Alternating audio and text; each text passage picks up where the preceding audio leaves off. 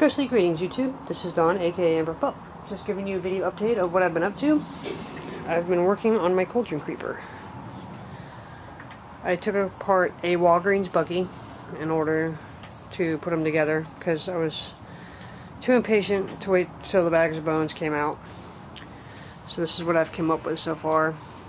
I actually used the head. I do have a styrofoam skull. I'm still debating on whether or not I'm going to use this skull or if I'm going to use the styrofoam skull.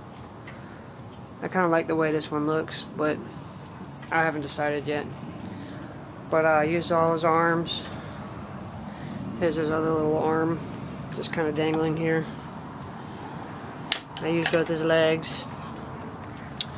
I used his rib cage, his spine, and his hips. And I attached them to the frame. And I put the cheesecloth over the top of them.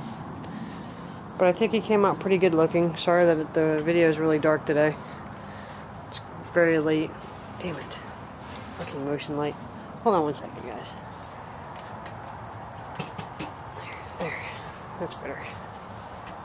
But this is like the back view. You can kind of see his like ribs to the cheesecloth and his shoulder blade and his spine.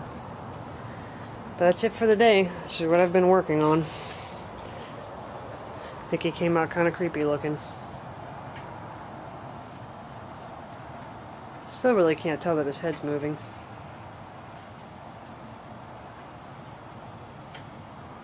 Well, maybe a little bit.